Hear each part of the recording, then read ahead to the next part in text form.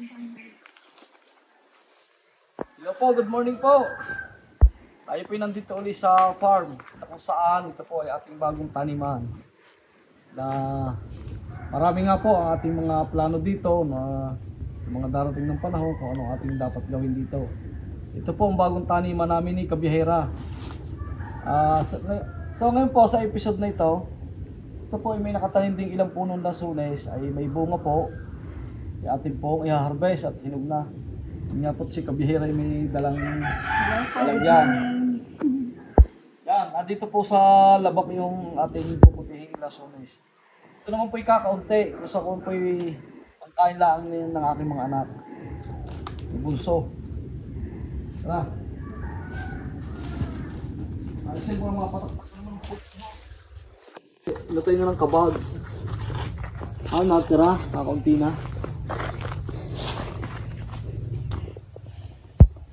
Nakabkab na ng kabag. Hmm? Madalang na.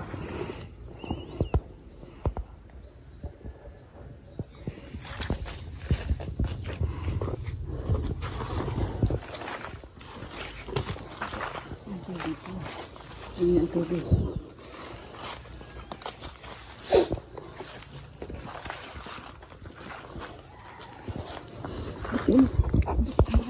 嗯기가되게 힘.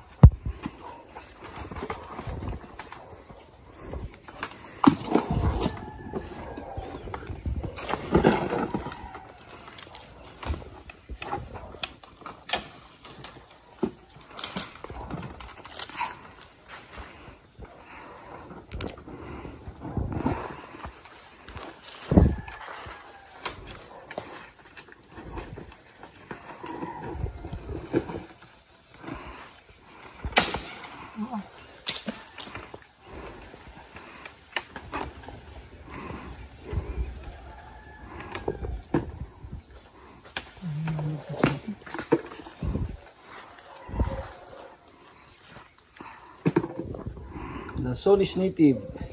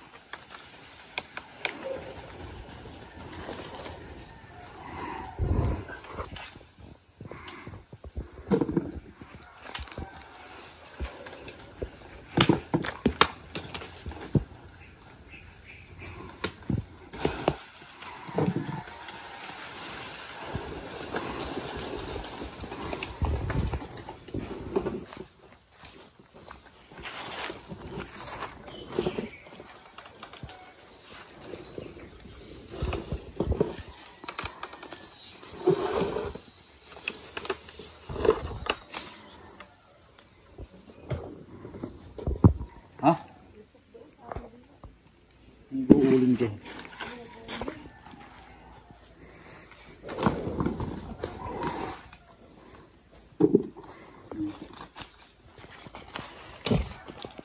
Ito sa kabila. Meron pa doon.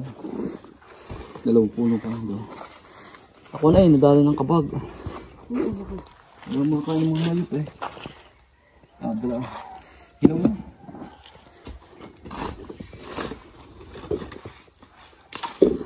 Yan, ito po ay ano. Lagyan na po natin ang anim na punong rambutan. Yan, tayo po ay may plano dito para matamnan po natin ng mga iba pang lasunes.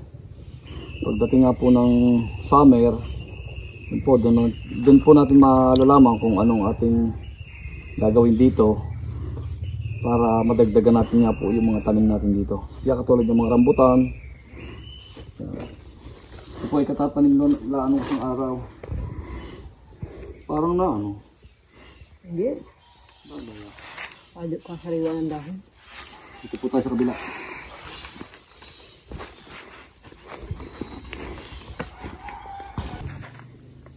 Medyo medyo mahirap tumawid dito. Kaya plano po natin, lalagyan natin ng tulay kahit kawaya. Para madali makalibang. Galingan mo sa PFD. Lagi sa nangyayari.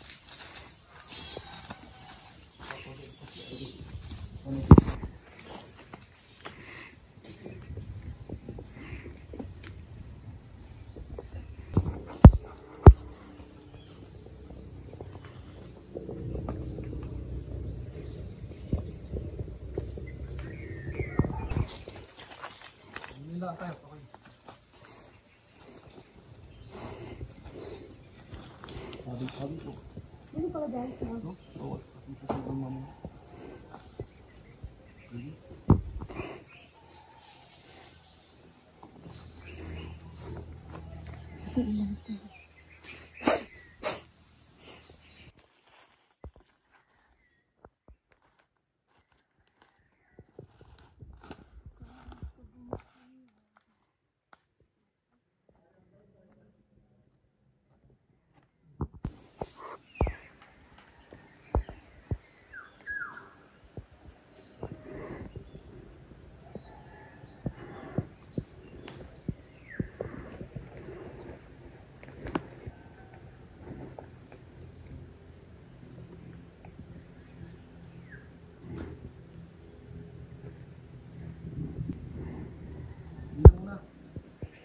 Ibistahin ko lang yung kabila, yung may kawayan.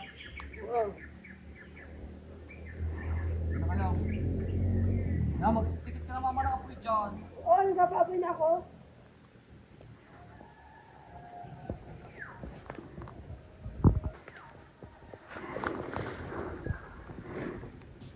Ano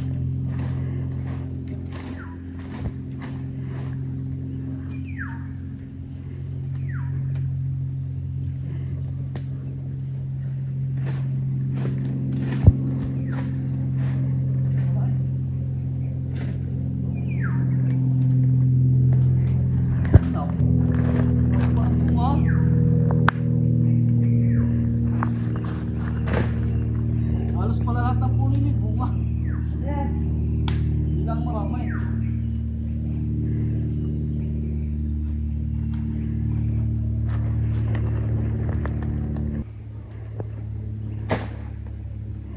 Yung basket.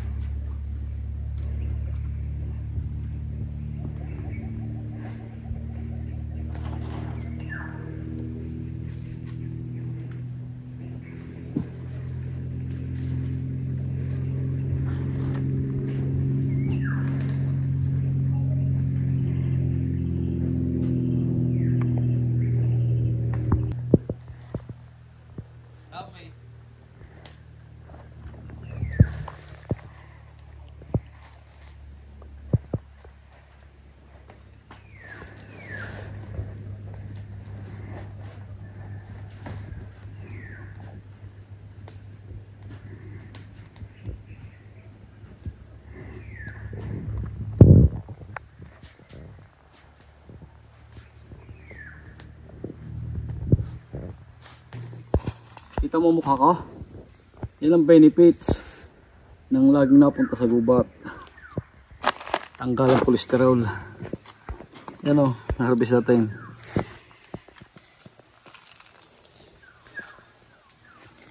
Pangkain.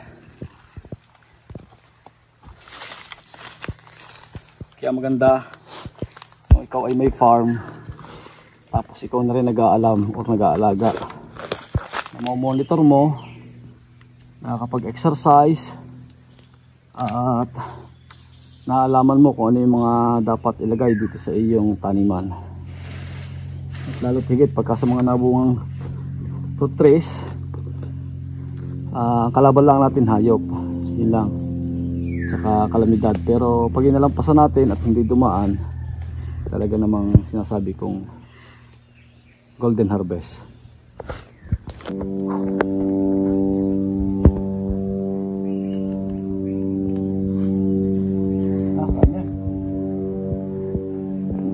sunis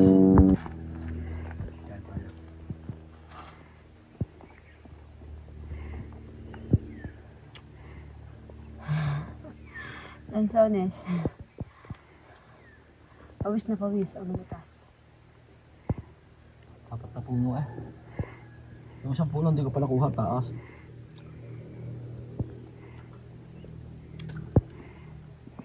bunga pa na siya daw Damis. Hindi pa talaga sagad ang hinog ng lasunes. Ang sagad nito mga October 15 pa. Pero matamis na din.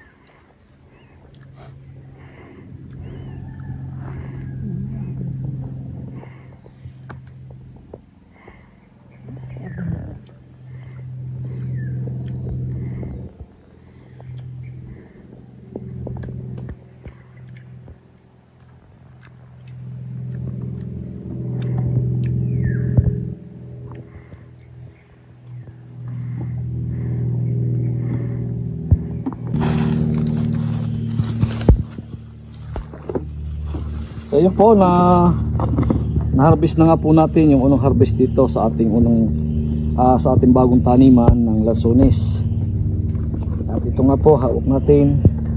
So ito naman po ay pangkain laang ng aking mga anak.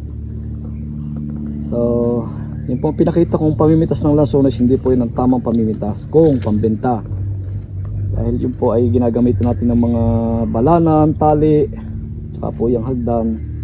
So, so po pa, doon po ah, iniimpake at ilalagay sa box. Para nga po pagdating sa market ay quality. So, saka ko na po sasabihin ang kwento ng tanimang ito pagka nga po sa dumating nga po ang tamang panahon. So yun po, hanggang dito na lang po ang ating video.